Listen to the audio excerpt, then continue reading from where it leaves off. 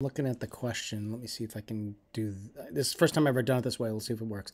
One positive number is four more than twice another. So that means they're both positive. So let's say let, oops, and I got a cable in the way. Let x equal a positive number. Then n, most people wouldn't do it this way, but is um, I should I can just write equals. The other positive number then n equals five more twice five more than twice. Then the product of these two so x times n is equal to 1593 but again nobody not many people put the whole n thing in there. They would just do this.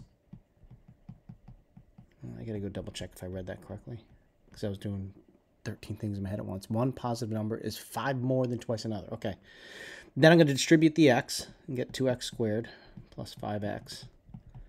And then recall if I'm going to solve a quadratic, unless it's a couple of different special cases, I'm going to have to factor this and or use the quadratic formula.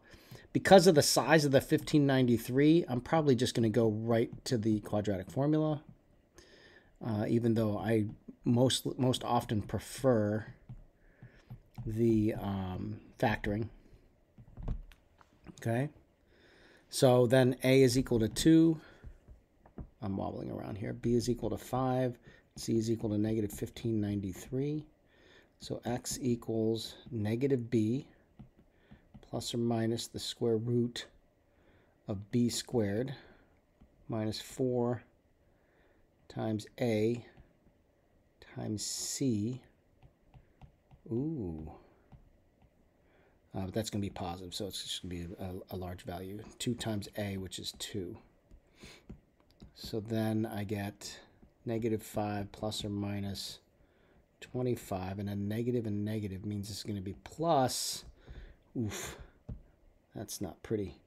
Uh, 1593 is uh, 8 times 15. Oh, what am I doing it manually for? Stop laughing at me. 1593 times 4 times 2, which is 8, and I get 12,744. 12, 744 over 4. And so add 25 to that 1274, and I get 12, 769.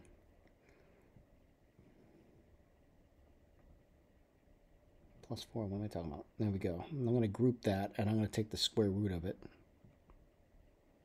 And it's a perfect square. I just had a feeling. So then this is a perfect square of 113. And so um, I was just double checking the 113. So I get negative 5 plus 113. So that's going to be uh, 108 over 4. And then I have negative 5 minus 113, which is negative 118.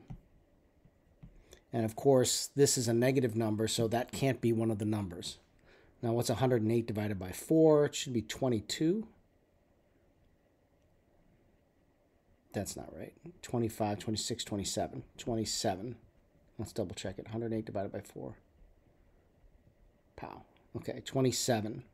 So x is 27 and the other number would be um, 5 more than 2 times that. So 27 times 2 plus 5, that's the other number.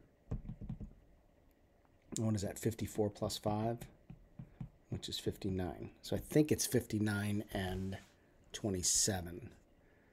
So hopefully this isn't too long and I can upload, uh, send this to you, etc.